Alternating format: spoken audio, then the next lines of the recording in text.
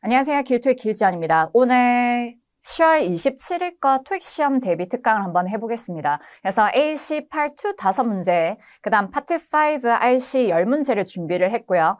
AC는 우리 이제까지 한 것처럼 미리 문제 풀지 마시고 저랑 같이 하게 될 겁니다. 그래서 듣기하고 풀이, 듣기하고 풀이. 그 다음 RC는 파트 5 10문제가 여러분들 다 문제지 다운받을 수 있게 돼 있습니다. 그래서 다운받고 미리 문제를 풀고 들어주시면 되겠습니다. 자, 요거 팔 2 한번 시작을 해볼 건데요. 1번에 요거를 하실 때 A, B, C 하고요. 동그라미, 세모, X 하시면서 한번 해볼게요. 한 문제씩 듣고 풀이 한번 해보도록 하겠습니다. 듣기 한번 들어가 보도록 할게요. 시작하겠습니다. Number 1. Don't you usually walk to work? A. Yes, but I'm too tired today. B. Sure, you can work at home. C. She normally arrives at 6. 자, 요거 정답은요. 뭐가 맞을까요? 답은, 답은, 답은 A죠. 이거를 여러분들 하실 때 사실 A가 너무 랜덤으로 지금 나왔잖아요. 내용이. 그러면 무조건 제가 어떻게 하라고 했어요? 정답을 고르려고 하면 힘들잖아요. 요즘 팔2가 정답이 너무 딱 정해진 틀의 답변이 나오는 게 아니죠. 여러분들은 어떻게 한다? 오답을 제끼시면서 아 이거 답인가 보네로 갔어야죠. 자 일단 스크립트 다시 들어가 볼게요. 보시면 Don't you usually walk to work? 네 일하는 데까지야 보통 걸어가지 않나요? 나온 거죠. 직장까지 보통 걸어가지 않나요? Don't you usually walk? Don't you usually walk? 자 그러면 여기에 Don't you라는 거 현감 접으실까요? 우리 Don't you라고 하면 뭐랑 똑같다라고요? Do you랑 그냥 똑같다라고 생각하시면 돼요. 그래서 맞으면 무조건 뭐를 써주시고요. yes가 되고 아니면 무조건 뭐가 된다? no다. 이렇게 보셔야 돼요. 다시요. 맞으면 뭐라고요? yes고 아니면 뭐다? no. 그래서 여기 직장까지 보통 걸어가지 않나요? A 볼까요? Yes, but I'm too tired today. 자 그러면 모르겠으면 세모로 놔두고 B를 볼게요. Sure, you can work at home. 여기에 you를 잘 보세요. 그러면 당연히 대답은 뭐로 나와줘야 돼요?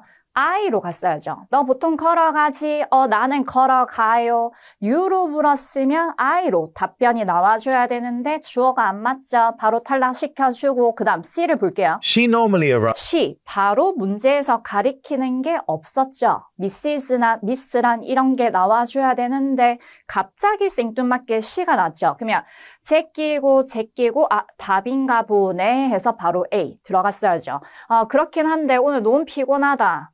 아 걸어가지 말까? 지금 이거겠죠. 그래서 정답 A였습니다. 다시요. Yes, but I'm too tired today. 음, 되겠습니다. 자, 이제 2번 한번 들어가 보도록 하겠습니다. 듣기 들어갈게요. 동그라미 세모 X 하시면서 하세요. Number 2. Why does Davis want to work early on Saturday morning? A. He has an urgent project deadline approaching. B. No, it opens early on weekends. C. It was working fine when I used it. 답 나왔을까요? 답은 뭐 했어요? 답은 답은 답은 B라고 라고라 C라고 라고라 답 뭐다? A죠. 자, 이것도 오답을 제꼈으면 사실 쉽게 나오는 문제였습니다. 자, 다시 들어가 볼게요. 스크립트 보시면 Why does Davis want to work early on Saturday morning? 토요일 날 이 사람은 왜 그래 일찍 일하기를 원하나요? Why does Davis want to work ear- 여기에서 Why does Davis want to work early on 왜 이렇게 일찍 일하나요? 토요일 날에? A 볼게요. He has an urgent project deadline approaching. 지금 마감 날짜가 approaching 뭐 해서요? 다가와서 다가오다 접근하다 approach죠. 그래서 다가와서 그래요. 긴급한 지금 뭐가요? 프로젝트 마감 날짜가 다가와서 그래요. 모르겠으면 일단 세모 놔둬 볼게요.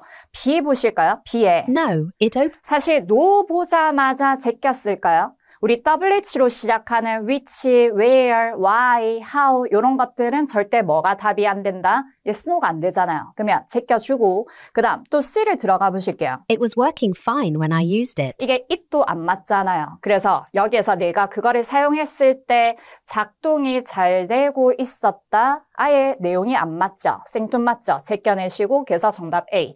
얘는 왜 이래 일찍 일을 합니까? 긴급한 프로젝트 마감 날짜가 다가와서요. 그래서 정답 A였습니다. 이제 3번 한번 들어가 보도록 하겠습니다. 듣기 들어갈게요. Number 3. Should we book a room in advance or just hope that there is one available? A. The payment is overdue. B. Let's call the Royal Palm Hotel now C. for our business trip. 답은요. 뭐였어요? 답은 답은 B죠. 자, 거기에서 스크립트 보실게요. 첫 번째. Should we book a room? 우리 should이라는 거 현감 접으실까요? 우리 should이랑 같은 거 뭐가 있다고요? shall we죠. 우리 shall we라고 하면 뜻은 뭐라고요? 뭐뭐 할까라고 해석이 되죠. 그래서 in advance 하면 뜻은 미리, 사전에 이렇게 되고 보통 영구식 발음은 발음 뭐가 나와준다? in advance로 출제가 되죠. 뭐라고요? in advance. 그래서 미리 방을 예약을 할까요? 아니면 그냥 하나가 있기를 바랄까요?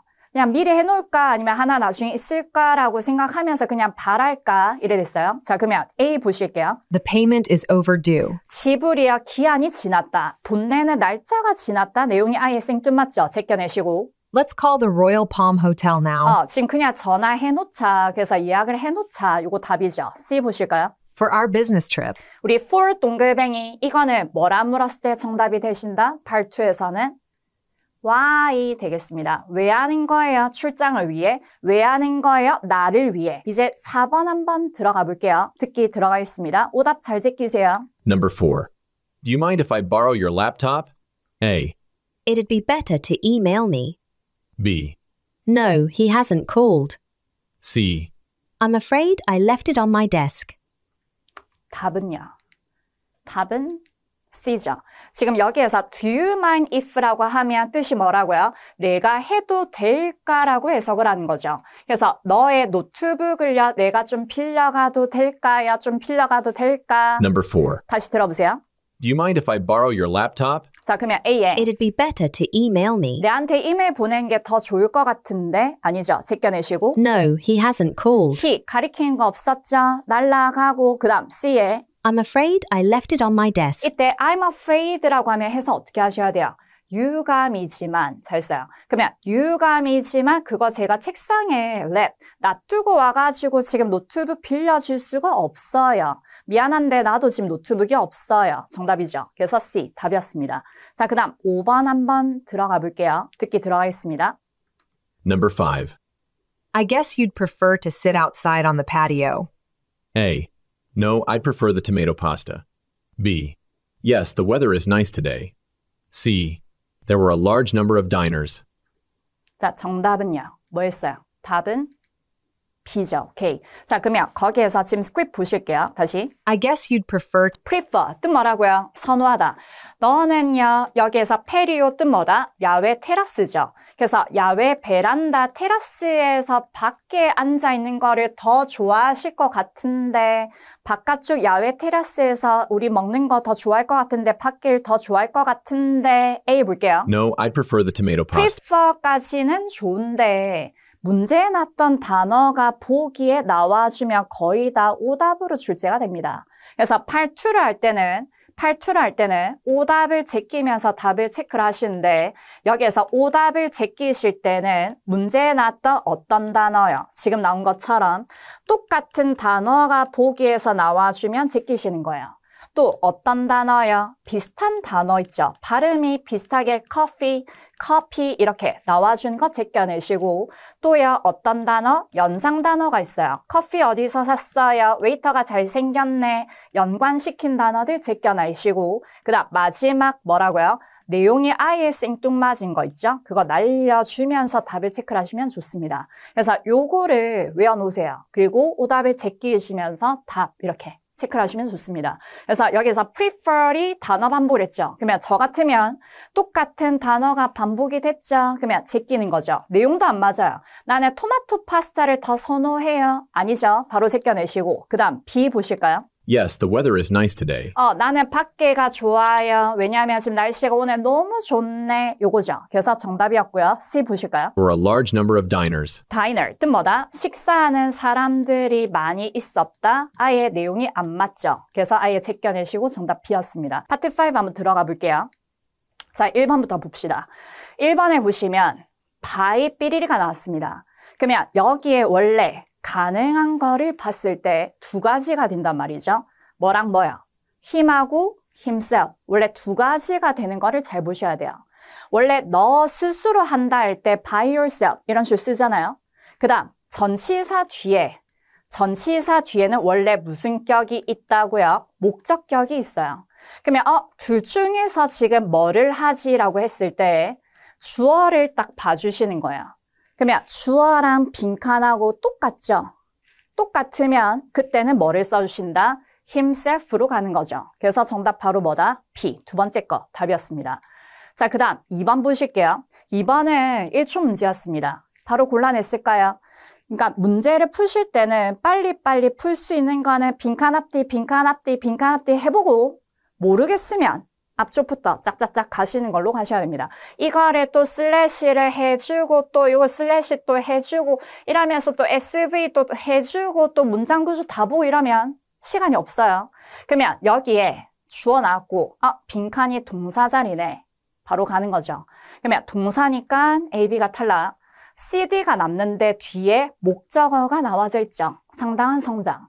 그러면 목적어가 있으면 무조건 능동이라고요? 수동이라고요? 능동이죠. 목적어가 없으면 뭐가 된다? 수동이죠. 그러면 목적어 있으니까 능동이니까 능동이니까 정답 바로 뭐 써주신다? C. 이거 답 되겠습니다. 요런 거 틀리시면 안 됩니다. 점수를 주려고 낸 건데 그거를 또 노력해서 틀리시면 절대 안 되는 거죠. 자, 그 다음 3번 보실게요. 3번에 보시면 삐리리부터 뒤에 rate까지 쫙 다 현감 쳐보세요. rate라는 게 뜻이 뭐다? 요금이에요. 그러면 요금을 어쩔 수 없이 지금 높인다라는 게 들어가 주면 되겠죠. 그러면 여러분들이 사실 A, B가 헷갈렸을 거예요. 어, A도 지금 뭐 성장하고 그러면 오를 것 같고 B도 지금 올리다 될 것 같고 요 중에 뭐 하지 이렇게 했을 거예요. 그러면 A는 자동사일 때는 보통 여기에서 성장하다라고 해석이 되는데 타동사가 돼서 뒤에 목적어가 나오잖아요. 그러면 그거를 기르다, 재배하다, 식물을 이럴 때 쓰는 거라고 보시면 돼요. 그 다음 B에 raise 하면 그거를 뭐다? 올리다. raise your hands 이렇게 하잖아요. 올리다. C는요, 속도를 내다라고 해석이 되죠.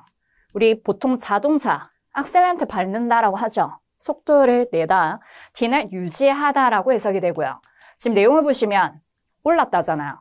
대충 보면 올랐대요. 가격을. 그러면 그들의 렌탈 레이츠도 당연히 뭐 하겠어요? 올리겠죠. 그래서 정답 바로 뭐 써주신다? B. 답이었습니다. 자, 그 다음 4번 가보실게요. 4번에 삐리리 competitor라는 거 현감 접으실까요? 그러면 명사 앞에는 당연히 꾸며주는 거 무슨 사가 나와준다? 형용사가 되셔야 되겠죠. 그냥 형용사가 보기에 두 가지 있는 거 봤을까요? 뭐가 보여요? C. 최상급 있잖아요. 가장 강력한. D도 되죠? 강력한. 그냥 CD 중에 뭐 하지? 그러면 이제 거기 단서를 봐줘야지. 단서를 보셔야죠. 그러면 once라고 하면 일단 뭐뭐라면으로 해석이 되잖아요. 그러면 일단 다섯 개 가게를 오래 열면 이 회사는 틀림없이 어떻게 의심 없이 become 이 회사의 가장 강력한 뭐야 경쟁업체가 될 거다가 되시면 되겠죠. 그래서 여기에 원래라면 최상급이 더랑 원래 잘 쓰거든요. 더 EST인데 어 쌤 요거는 더가 아닌데요 이러시면 안 돼요. 이게 무슨 격? 소유격으로 해서 뭐뭐의, 나의, 너의, 이 회사의 이것도 뒤에다가 EST 이렇게 잘 씁니다. 그래서 더 EST나 소유격 EST도 가능해요. 그래서 정답은 뭐가 맞겠습니까? 답은 C. 요거 답 되셔야 됩니다. 자, 그 다음 5번 보실게요.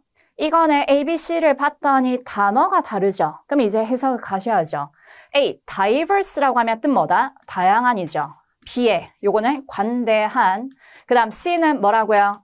인기 있는으로 해석이 되죠. D는 가치 있는으로 해석이 되고요. 자, 그러면 내용을 한번 보실까요? 내용을 한번 볼게요. 비록 이게 다양한 종류의 맛있는 케이크들을 판매를 하지만 가장 인기 있는 거는 이거 다가 되셔야 되죠. 그냥 가장 뭐야? 인기 있는 되시면 되겠죠. 그러면 정답 바로 뭐가 맞겠습니까? 답은? 답은 C. 요거 답 되셔야 되죠. 자, 그 다음 6번 한번 보실게요. 6번에 어 1초 문제 되겠네요. 뒤에 기계라는 거를 꾸며주는 자리가 뭐냐를 묻는 문제였습니다. 그러면 BC 중에서 수거로 외우셔야죠. 기존의 기계라고 했을 때 exist라는 거는 분사 쓸 때 무조건 뭐만 써주신다? ing만 쓰죠. 다시요. exist는 무조건 뭐만 써주신다? ing만 되셔야 돼요. 그래서 이거 정답 바로 뭐라고요? 답은 B. 답이었습니다. 자, 그 다음 7번 보실게요. 7번은 사실 저는 디셈버 이 부분 보고 ABC 보고 바로 답이 빵 튀어나와 주거든요. publication이라고 하면 출판물이잖아요. 그러면 출판물에 12월 호가 되면 되잖아요. 1월 호, 2월 호 할 때 뭐 써주시면 되겠습니까? 정답 바로 뭐라고요? 답은 B죠. 그래서 이슈라는 게 문제라는 뜻도 있지만 또 호라는 뜻도 있죠. 호. 그래서 잡지 1월 호, 2월 호 이럴 때 A는 과정이라고 해석이 되죠. B는 우리 뭐다? A18원에서도 많이 나오죠. 뜻은 칸막이 얘기하고요. 그 다음 D는 구독이라는 뜻이고요. 그래서 탈락, 정답 그래서 B였습니다. 자, 그 다음 8번 보실게요. 8번에 이거는 봤을 때 전치사 접속사 묻는 문제죠. 시험에서 제일 많이 나옵니다. 근데 제일 많이 틀려요. 왜? 안 외우시거든요. 그러니까 품사를 잘 외워주셔야 되는데 자꾸 여러분들이 귀찮아서 안 외워요. 그러니까 이거 나올 때마다 전치사인지 접속사인지 잘 외워주셔야 돼요. 이걸 자꾸 물으면 이거는 무슨 사예요? 뭐 이건 무슨 사예요? 라면 뭐 전치사라고 얘기하거나 아니면 뭐 접속사 얘기할 때 반대로 자꾸 헷갈려가지고 여러분들 또 입이 엉켜가지고 접속사 이러거든요. 확실하게 외워주셔야 돼요. 전치사인지 접속사인지 제대로. 자 그러면 하나 물어봅시다. until은 무슨 사예요? 전치사도 되고 뭐도 된다? 접속사도 되죠. 그 다음 B에 for 끝났잖아요. 이것만 잘 보세요. For 끝났으니까 무슨 사가 되겠습니까? 전치사죠. 그 다음 C는 무슨 사계요? 접속사입니다. D 무슨 사계요? 전치사입니다. 뭐만 비교하여? 자 그러면 A, B, C, D를 이렇게 봐놓고 이거 구조를 봐봐봐요. 뒤를 보니까 단어 나왔습니까? 문장 나왔습니까? 문장이죠. 그러면 문장 연결하는 무슨 사 자리가 됐다? 접속사 자리 되겠어요. 그러면 거기에 저는 보자마자 BD를 날라가고 AC가 남았으니까 이제 해석으로 가야죠. 둘 중에서는 해석입니다. 그러면 잠재적인 모든 장소들을 evaluate, 뭐라고요? 평가를 하고 그 다음에 여기에서 아홉 개의 장소가 선택된 게 나중에 발표가 될 거래요. 그러면 여기에서 정답 뭐가 맞겠습니까? 답은 C죠. 이거를 다 분석을 끝내자마자 나중에 발표를 할 거다가 되셔야 되겠죠. 그래서 정답 바로 뭐다? C. 답이었습니다. 만약 A를 하시려면 이렇게 할 때까지 계속 연구원들은 뭐뭐 할 거다. 뭐 이런 식으로 계속되는 의미가 뒤에 있어줘야 돼요. 그래서 안 돼요. 계속되는 의미가 뭐 있어줘야 돼요. 계속 기다리셔야 됩니다. 뭐 이런 거. 그래서 탈락 되겠어요. 자, 그 다음 9번 보실게요. 이 문장 구조를 잘 보세요. 저는 ABC 딱 보고 바로 답을 체크하는 1초 문제입니다. 동사 나와 주고 주어를 썼단 말이죠. 딱 느낌 안 오실까요? 전혀 안 온다 그러면 모르는 거죠. 여기에 동사 주어가 나왔다라는 거는 무슨 치가 일어날게요? 원래 주어 동사 나와줘야 되는데 동사 주어 나왔어요. 순서가 뒤바뀌었죠? 뒤바뀌는 걸 이름에 무슨 치? 도치라고 합니다. 그러면 여기에서 도치가 일어나는 게 A, B, C, D에서 뭐냐를 묻는 문제였습니다. 정답 바로 뭐가 맞을까요? 답은 C였습니다.